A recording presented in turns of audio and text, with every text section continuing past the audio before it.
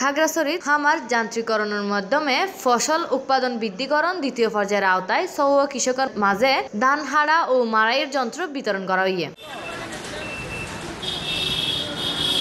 দুই হাজার সতেরো আঠারো অর্থ বছরের লাই পঞ্চাশ পার্সেন্ট হারে উন্নয়ন সহায়তার মাধ্যমে খাগড়াছড়ি সদর উপজেলা কৃষি অফিসারের আয়োজনে মাঝে এসব খামার যন্ত্র বিতরণ করা হয়।